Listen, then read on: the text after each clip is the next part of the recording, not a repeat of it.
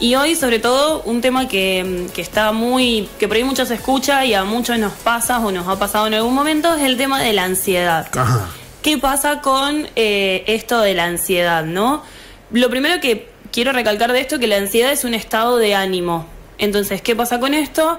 Eh, yo tengo que saber de dónde viene la ansiedad. Muchas veces se confunde con hambre. Y acá viene el problema, cuando yo comienzo a tapar esta ansiedad con comida.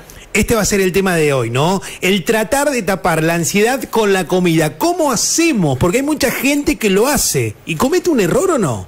Sí, obviamente que estamos cometiendo un error. Eh, porque pasa que cuando empezamos a tapar con comida la ansiedad, Sí. es porque nos está, estamos teniendo una alimentación eh, deficiente o nos está pasando algo con la alimentación. Y obviamente que si tapamos con comida la ansiedad, vamos a empezar a tapar lo que nos pase. Y tal vez no es hambre, tal vez es otra cosa. Y hay una emoción que la estamos ocultando. Entonces necesitamos sacar este foco de la comida, ¿no? Eh, una de, la- de las primeras cosas que, que por ahí nos pasa cuando tapamos con comida la ansiedad es porque nuestra alimentación es deficiente. ¿Pero por qué? Porque estamos acostumbrados a dietas. Y acá hay un gran error. No tenemos que hablar de dietas. ¿sí? Eh, el problema de la dieta es que restringimos. ¿Y qué es lo primero que restringimos? Harinas. La típica. Sí. Lo primero que vamos a restringir es harina. Y lo primero que ocurre cuando empezamos a restringir es que va a empezar a subir el cortisol. El cortisol es una hormona que me genera estrés. Y ni hablar que esta hormona em, también me va a generar mayor cantidad de grasa abdominal. O sea, lo primero que hacemos es que se empiece como a fijar, digamos, esa grasa. Pero lo que genera esto es que va a aumentar el estrés. Em, entonces, al seguir tapando la, la- ansiedad, con esto me va a entrar en un círculo, en un círculo al cual yo después me es más difícil controlar el tema de la ansiedad. Entonces, ¿qué es lo que tengo que hacer? Primero empezar a tratar mi alimentación. ¿Qué está pasando con mi alimentación? ¿Estoy haciendo las cuatro comidas? ¿Estoy consumiendo de todos los nutrientes? ¿O simplemente estoy sacando comida de mi alimentación? Generalmente lo que pasa con la comida es que la asociamos a un placer. Cuando nos juntamos a comer, cuando nos reunimos con amigos, eso nos genera placer. Entonces, las primeras comidas que nos van a seguir generando esta ansiedad son aquellas precisamente que son más chatarras o por ahí las aso- asociamos a las cosas fritas, eh, a Lo lo, rápido, a lo dulce. Y esto también, si es una persona que le gusta lo dulce, lo primero que va a recurrir cuando está con ansiedad es a lo dulce, porque va a buscar la misma generación de placer. O sea, lo que pasa con el cuerpo es que para calmar o tapar esta ansiedad, lo ocultamos a través de lo dulce. Yo, si como algo dulce, me genera un placer, el cual me olvido de ese de eso que me estaba provocando la ansiedad. Me voy a olvidar de ese problema por un ratito, obviamente, ese es el tema, que yo me lo voy a olvidar por un ratito. Entonces acá me va a llevar a que yo termine picoteando todo el día, porque yo voy a estar con ese problema de ansiedad y voy a seguir recurriendo a lo mismo. Entonces, ¿qué tengo que hacer? Primero, si yo ya detecté que lo que a mí me está generando o me sigue generando la ansiedad, pero no me está ayudando, son las cosas dulces, no las tengo que tener en casa.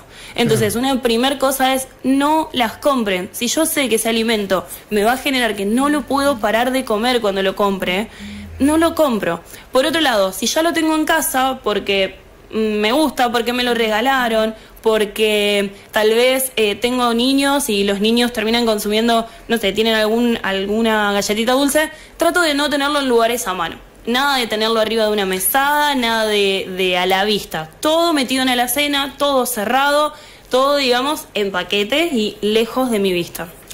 Marina, Sí. ¿cuál sería la, la forma ideal de poder controlar entonces esto? Porque hay, vienen también algunas pastillas, vienen, viene medicación para controlar esto, para no, eh, para que perdamos el apetito y podamos controlar la ansiedad. Esto está mal. El tema de la medicación hay que ver primero, eh, porque una medicación puede haber sido dada por un psicólogo, ¿no? Nosotros podemos acompañar perfectamente una buena alimentación con un, eh, con un acompañamiento psicológico, ¿está? Porque tal vez no estamos solamente con la alimentación logrando controlarlo, entonces tal vez en ese momento el psicólogo lo dio. Ahora, esto es un remedio, es algo que me lo dio un profesional. Después no existe la magia. Esto La- de que la- yo lo me puedo comprar- eso que yo me puedo comprar la pastillita o, o la hierba o demás, no es que me va a salvar de la ansiedad o me la va a tratar.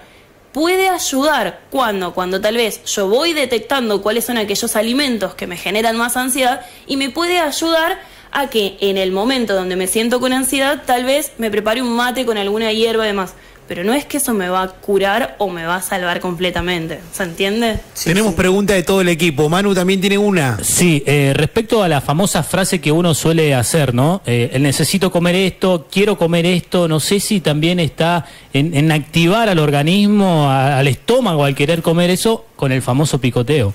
El, problema de eso es también cuando venimos de, las típicas dietas o asociamos esto de que si yo me estoy cuidando es porque tengo que restringir. Y cuando restringimos un montón, lo primero que van a, ocurrir dos cosas con dos hormonas que son fundamentales con el tema del hambre y la saciedad. Va a aumentar la grelina. La grelina es una hormona que me da hambre, ¿está? que me genera más, más ganas de comer. Y por otro lado, disminuye la leptina, que la leptina es la que me da la saciedad. Cuando este orden, digamos, nosotros tenemos un centro que es el del hambre y la saciedad, cuando ese centro está alterado, es acá eh, cuando comienzo a tener estas necesidades yo de que quiero comer, o sea, no me importa qué, o, o, voy por algo puntual, digo, bueno, llega un momento y acá empiezo el picoteo, pero también pasa por esto, porque estamos acostumbrados a que el decir me quiero cuidar está asociado que yo tengo que sacar alimentos de mi, de, mi rutina o, de, mi, eh, de mi, alimentación diaria. Y es porque nos restringimos, siempre apuntamos a lo mismo. Eh, entonces, al, estar tan asociado a esta restricción, es que pasa esto que recurrimos al picoteo. Repasemos si los eh, alimentos o por ahí lo que no hay que tener a mano cuando uno está ansioso sobre todas las cosas, que es lo que estamos hablando, ¿eh? ansiedad y la comida, van de la mano, pero ¿qué es lo que no hay que tener para, para eh, tener a mano la comida, ¿no? Sobre todas las cosas, o los alimentos, para uno no subir de peso? Sobre todo, bueno, hoy hablábamos de lo dulce, pero va a depender de la persona. Hay personas que le gustan más lo salado. Entonces, evitemos tener alimentos que nos generan esa tentación. Cosas dulces, chocolates, caramelos, eh, ni hablar de, tortas, pero al mismo tiempo cosas de panadería tampoco tener a mano, esto de bizcochos o facturas, o alimentos que son más grasos. Entonces, por ahí en, en realidad aquellos alimentos que no debería tener a mano en casa son aquellos que tienen más grasa y más azúcares. Y en cuanto a lo salado, puedo recurrir a los fiambres, entonces tratar de no tenerlos a mano, son alimentos que yo no tengo que comprar todos los días en mi casa, entonces esos son los que no debería tener tratar de tapar la ansiedad con la comida. Está eh, nuestra querida Marina Dufex con nosotros, que es nutricionista, que va a estar durante estos días eh, y durante todo el año tratando de llevar un claro mensaje.